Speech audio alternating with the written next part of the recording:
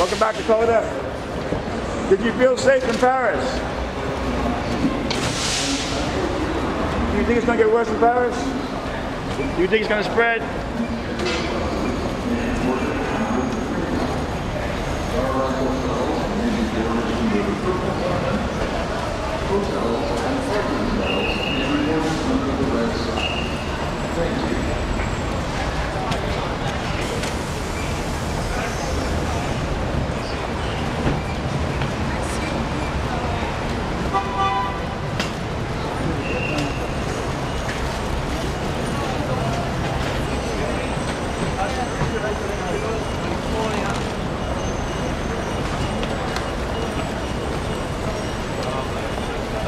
Story.